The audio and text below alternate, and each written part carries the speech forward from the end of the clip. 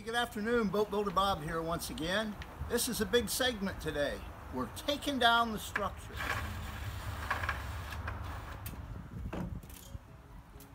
What's that mean? Boats going in the water.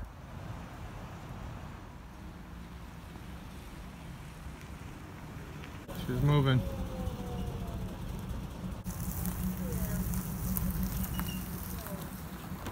Standing the mast, setting the rig.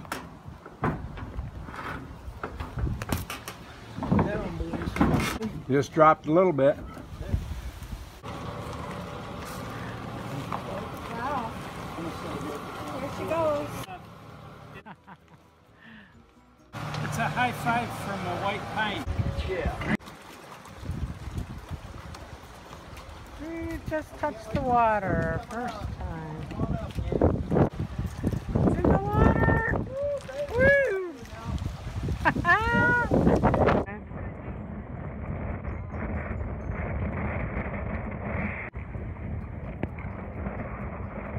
now.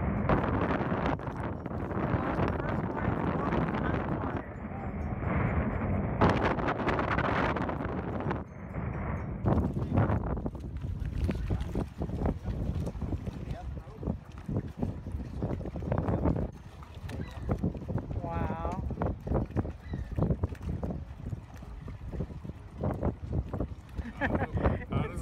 It's in now, right?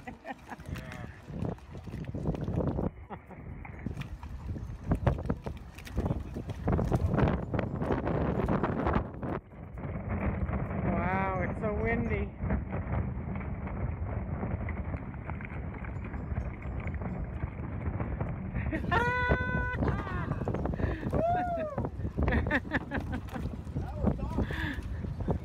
I wonder if I have that.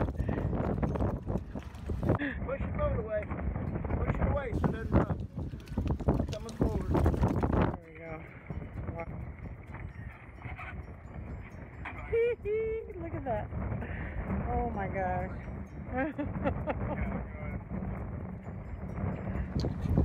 Well, anyway, um, Deb and I are super excited about you.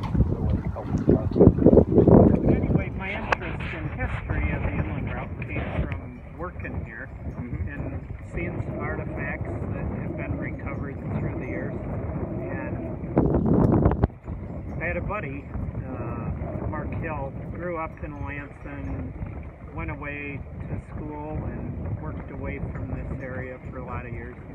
And they decided to buy a summer place down at the Inland House in Conway.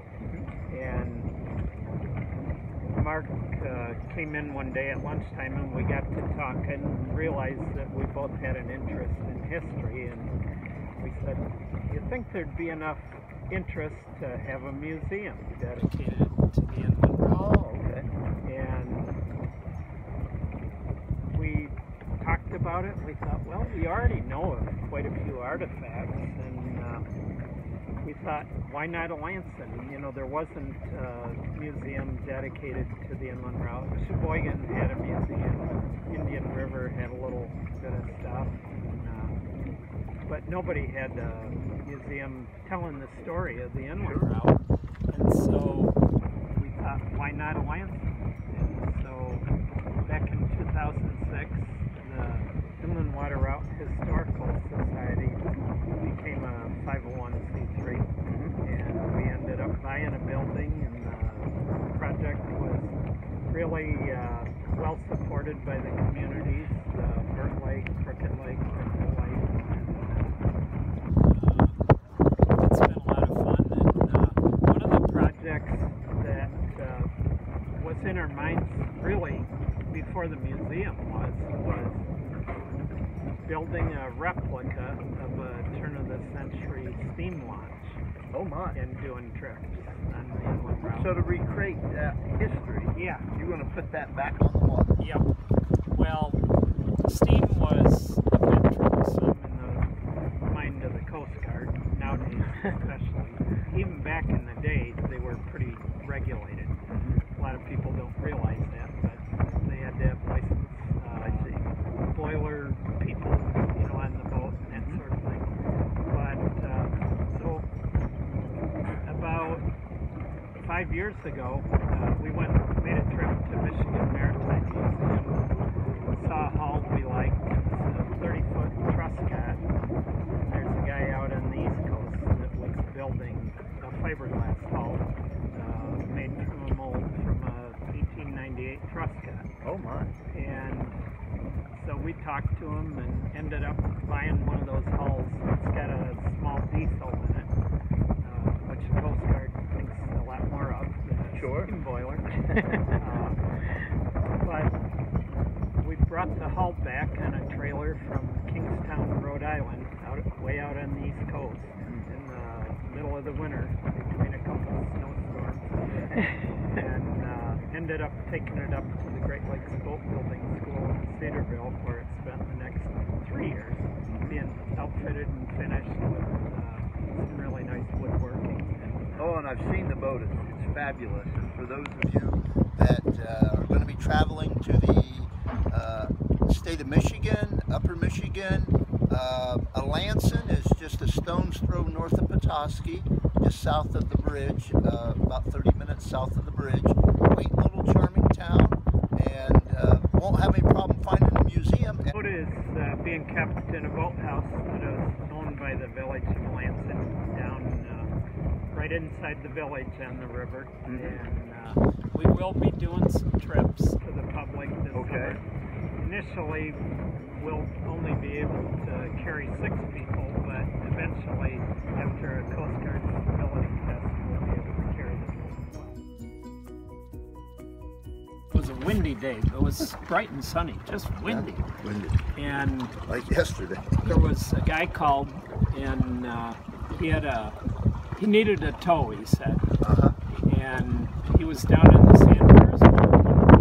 He kept it at Windjammer down there, and so I thought, well, it's kind of a long tow, but uh, I can't just say no. Going into the wind. And uh, well, when I got down there, some pleasure boaters uh, had tried to tow him, and because of the wind and inexperience,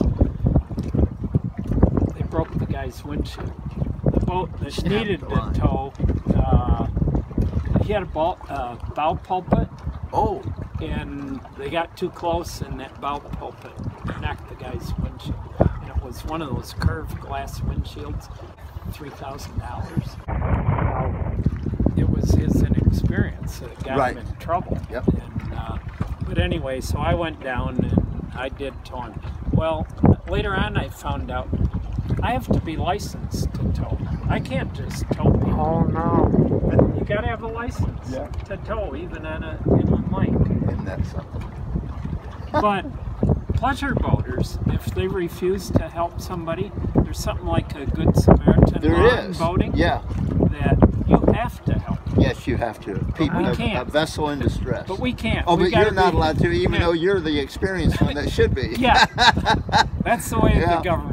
Oh yeah. Yeah.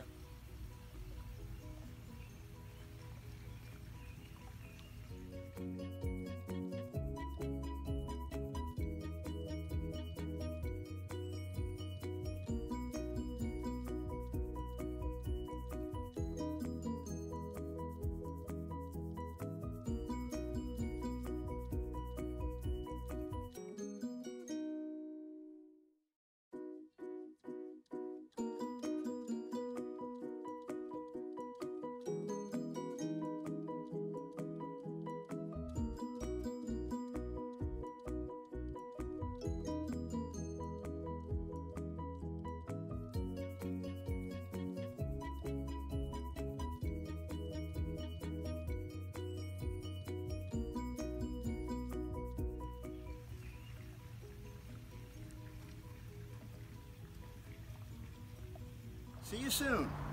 Boat Builder Bob signing off.